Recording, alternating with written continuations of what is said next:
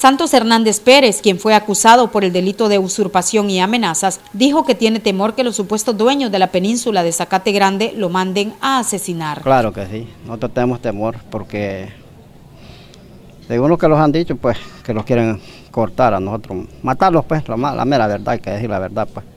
Entonces nosotros el temor que tenemos, porque esto no solo aquí lo podemos decir, y en los juzgados de Amapalo lo dijeron también, porque como ella tiene gente que trabaja con, con ellos, y sabe que lo que vale aquí en nuestro país es el dinero. ¿Se ha hecho injusticia con ustedes? Ah, sí, con nosotros sí. Toda la vida han hecho justicia, porque ya vamos dos veces que los han metido presos por esto.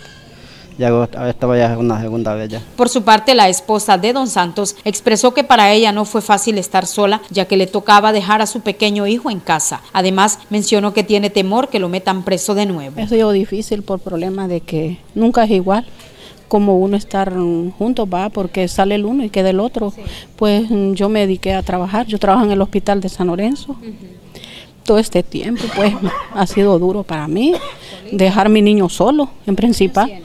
Tiene 12 años, lo dejaba solito y una parte que solo le pedía a Dios que me lo cuidara porque... Una edad de adolescente que necesita... mucha atención. Yo le decía que se fuera pan de la vecina, no me decía. Yo solo me quedar, no, hijo, no te quedas en esta casa vos solo. Mire, solo Dios con uno y yo lo que hacía, pero nunca mi, mi turno que hacía de noche, yo mi mente no me trabajaba bien. Cuando ya amanecía yo decía, pucha, ya voy ya a ver mi niño.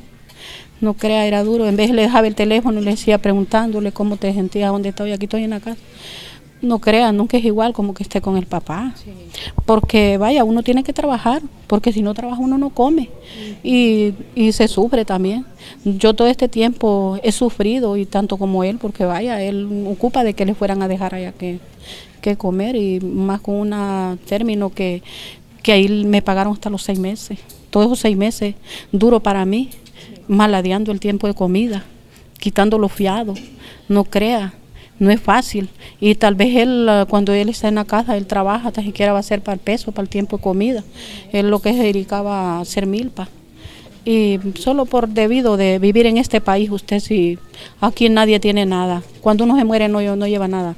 Y ellos lo que les gusta es salir con la bolsa llena. Don Santos hizo un llamado a las autoridades para que tomen cartas en el asunto, porque asegura que su vida corre peligro por el hecho de habitar en la península de Zacate Grande, tierras que según él son del Estado. Para Metro TV Noticias y Radio Ilusión, la 107.5 les informó Solangi Herrera.